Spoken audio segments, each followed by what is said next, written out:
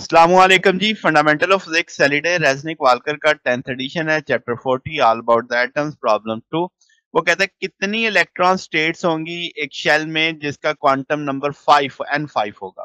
तो हम जानते हैं एन नंबर्स के लिए पॉसिबल एल की वैल्यू ज़ीरो से एन माइनस वन तक होती है, जैसे नीचे मैंने टेबल में भी दिखाया हुआ है। वो कहता है, हर एल के लिए पॉसिबल स्टेट्स होती हैं two into two L plus one अब ये जो टू टाइम मल्टीप्लाई कर रहे हैं, क्योंकि स्पिन की दो स्टेट्स हो सकती हैं तो इसलिए टू एल प्लस वन को डबल टू से मल्टीप्लाई किया है।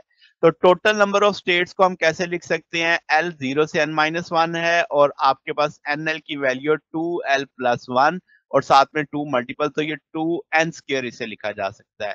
और एन की वैल्यू फाइव है तो हम इसे कह सकते हैं कि भाई ये टू फाइव का स्केयर आ जाएगा तो ये पचास बन जाएगा।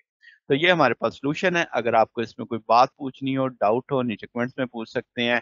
वीडियो अच्छी लगी हो तो वीडियो को लाइक कीजिएगा, दोस्तों के साथ शेयर कीजिएगा चैनल को सब्सक्राइब कर दीजिएगा। अब तक के लिए इतना ही। बकिया इंशाल्लाह नेक्स्ट देखेंगे। ओके अल्लाह हाफिज।